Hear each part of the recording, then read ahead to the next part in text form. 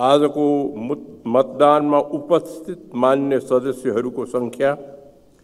दुई सय अठसट्ठी रहेको छ।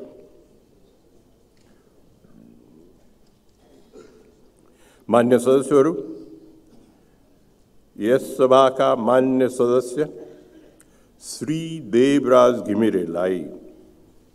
प्रतिनिधि सभा सभाको सभामुख पदमा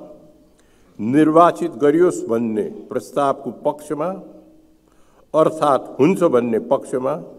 जम्मा एक सय सतसट्ठी मत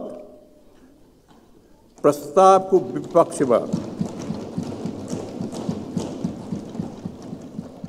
अर्थात् हुन्न भन्ने पक्षमा जम्मा सय मत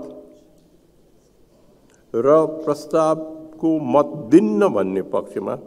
जम्मा एक मत परेको छ। मान्य सदस्यहरू यस सभाको मान्य सदस्य श्री देवराज घिमिरेलाई प्रतिनिधि सभाको सभामुख पदमा निर्वाचित गरियोस् भन्ने प्रस्तावको पक्षमा एक सय सतसट्ठी मत परेको र उक्त सभा उक्त सङ्ख्या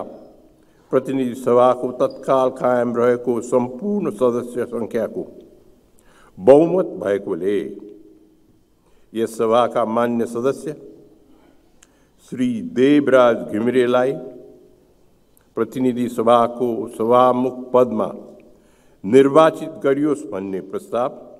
बहुमतले पारित भएको घोषणा गर्नु